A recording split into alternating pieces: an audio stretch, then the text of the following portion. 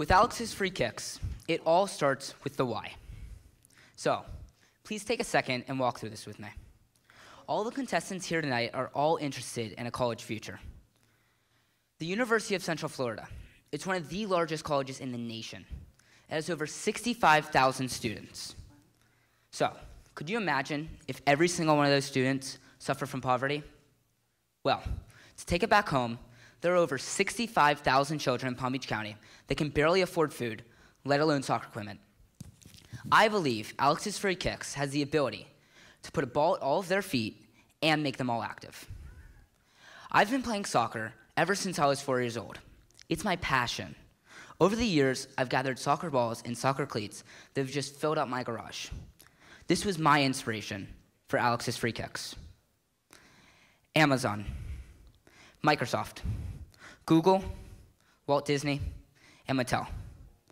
All of these extremely successful companies share one thing in common with Alex's Free Kicks.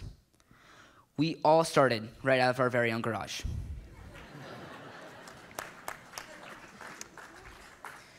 My garage is more than just a regular old garage. To me, it's about giving, it's about leadership, and it's about making a difference. My garage is where Alex's Free Kicks was born.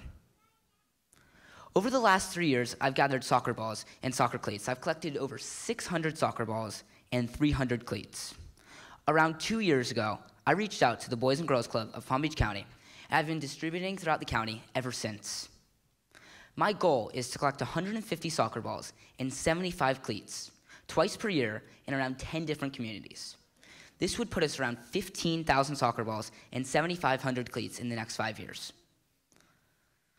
The way I'm going to do this is, well, I want to expand beyond Wellington into around 10 different communities.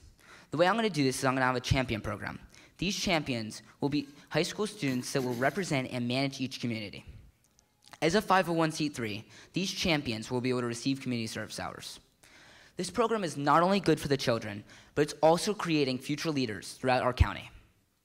But I need a little help to kick things off for my goals. Pun intended.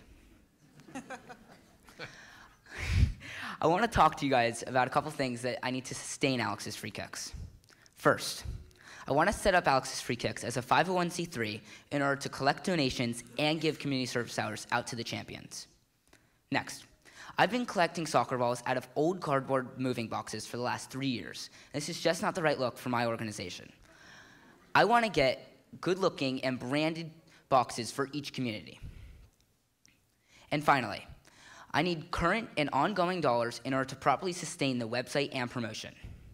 So in total, I'm looking for about $15,000. Which of you investors want to become a champion?